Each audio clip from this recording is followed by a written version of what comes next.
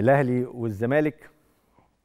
هيلتقيا في السابعة مساء الخميس إن شاء الله على صالة النادي الأهلي بالجزيرة في نهائي بطولة كأس الكؤوس الأفريقية لكرة اليد مقامة في النادي الأهلي. نادي الزمالك كان وصل للنهائي بعد الفوز على فريق سبورتنج في الدور قبل النهائي 25 24 والأهلي كان تأهل بعد الفوز على فريق رجاء أغادير المغربي بنتيجة 36 23 الزمالك